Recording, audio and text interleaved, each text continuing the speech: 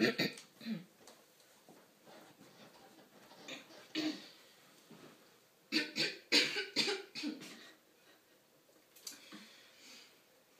här är Olivia Bergdahl och Kajsa Bolin med ett förslag till första maj.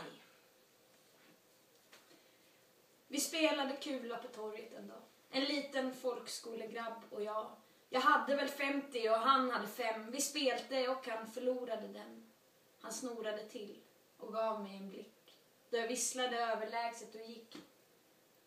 Men jag ångrade mig när jag kom till vår port och tyckte det var något fult jag gjort. Jag gnodde tillbaka men ingenstans kunde någon säga var grabben fanns och jag skämdes, jag tror. Jag skäms för det än när jag ser dem spela kula igen och jag ville ge, jag vet inte vad. För att en gång få se den här grabben glad. Men nu är han säkert en stor grov karl som släpar och sliter, jag